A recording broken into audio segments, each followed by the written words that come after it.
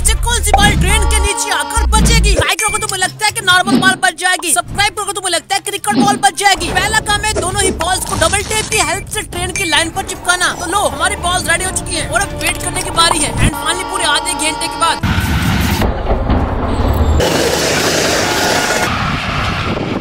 तो हमारे cricket ball के चित्रे उड़ चुके हैं। और अब नॉर्मल बॉल को देखते हैं। ये थोड़ी सी डैमेज है, लेकिन विनर